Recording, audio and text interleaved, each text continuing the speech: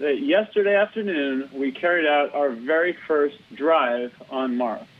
Go ahead and show that first picture, please. Here we're looking out the front of the rover, and you can see our first tracks on Mars, and this was just so amazing to see last night.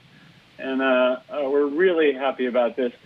What you're seeing in this simulation is it's actually a representation of the telemetry we got back of what the arm did on Mars, of all the different motions of the arm.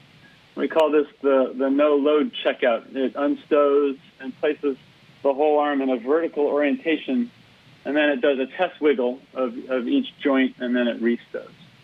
So here you're seeing the actual images from the rover that we got back of this activity, which was super cool.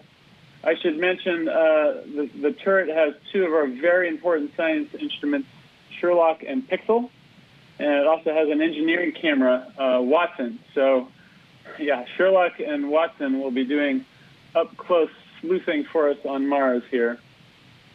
So on Sol 12, we deployed the MEDA wind sensors, which are housed on the mast, and you can see them uh, in testing on Earth on the left.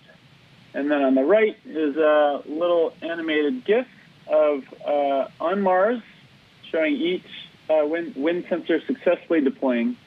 Uh, so that was that was great to see.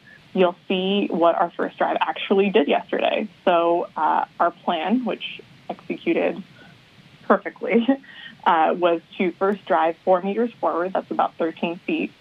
Uh, make a 150 degree turn to the left, counterclockwise and then back up about two and a half meters, about eight feet.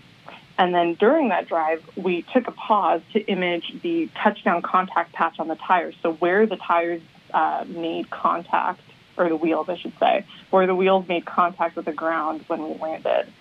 You can see the wheel tracks that we left on Mars. I don't think I've ever been happier to see wheel tracks, and I've seen a lot of them.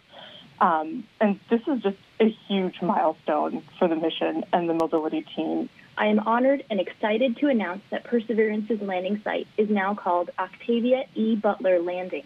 This image is from the Mastcam Z camera located on the rover's mast. It shows a flat, light-toned rock on the right side of the image on which we targeted the very first observation from SuperCam, one of the rover's instruments for analyzing the composition of rocks at the surface. And what we can see in this image uh, from the first high-resolution panorama from Mastcam-Z are distant deposits of the Jezero Delta in the background. The rocks in the foreground may be similar to those in and around the rover's landing site, but I'd like to call attention to the rocks in the mound in the background. This is about a mile and a half away from the rover. From the landing site, which is the white dot there, we're considering two options to get to the delta, a clockwise path and a counterclockwise traverse that you can see here in blue and purple.